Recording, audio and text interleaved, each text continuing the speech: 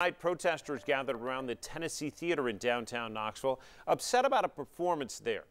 Critics of a holiday drag show say a Tennessee law should keep it off the stage. It forbids an adult-oriented establishment or cabaret, including male or female impersonators, from taking place within 1,000 feet of a church, park, or school.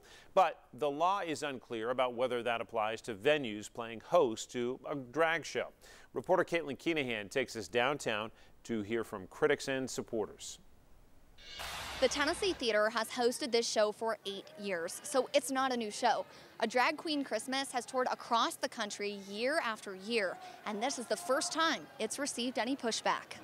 And we love a culture that needs Jesus. Am I making sense?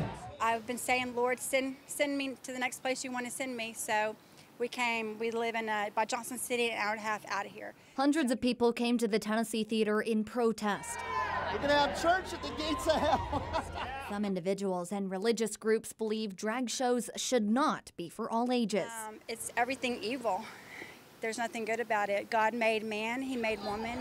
Directly across Gay Street, hundreds of people also showed up in support of the show. Drag performers and all the ages attending.